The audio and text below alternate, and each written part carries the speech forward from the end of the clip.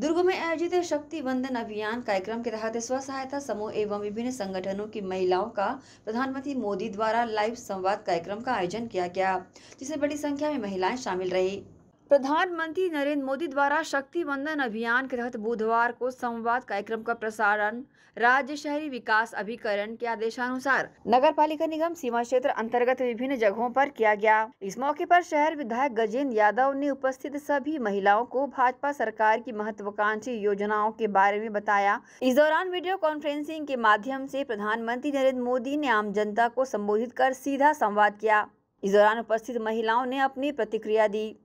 मेरी टंडन है मेरी समूह का नाम सभी सहेली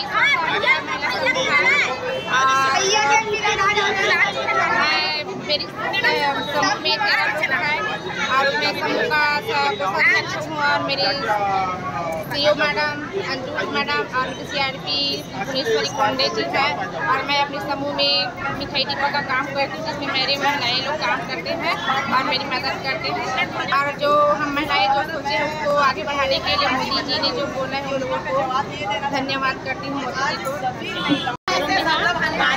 महिला स्व सहायता समूह से जुड़े हूँ और वो समूह में हम दोना पत्तल, अचार अचार डालथन लंच पैकिंग करथन मध्याह्न भोजन चलाथन बहुत सारा ऐसे कार्य हेबे जेला मन महिला समूह काम करते, ओकर से रोज़गार, अपन घर परिस्थिति सुधार सुधार आते और सबसे बहुत अच्छा बात है मैं तो अनपढ़ हम, वरना गढ़ के आगे आ हम, गढ़ के आगे बढ़े हम। कि शासन के जो भी लाभ है वे, ओला में हाँ अपनाए हम मैं शीतल जानिए वार्ड नंबर तीन से। मैं स्व सहायता समूह में सन 2015 से जुड़ी हूँ। और स्व सहायता समूह में जुड़ने के बाद मैंने काफ़ी तरक्की की है। मैंने जगह जगह स्टॉल लगाकर भी अपने समूह को आगे बढ़ाया है।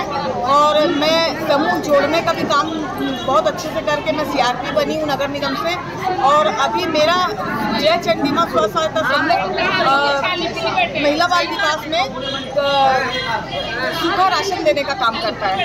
मैं मोदी जी को धन्यवाद देना चाहूँगी, जो हम महिलाओं को जागरूक करके नगर निगम के द्वारा स्व सहायता समूह में जोड़कर हमें आगे बढ़ाए बहुत बहुत धन्यवाद। एसीएन न्यूज़ के लिए दुर्ग सेना सिंह फारूकी की रिपोर्ट।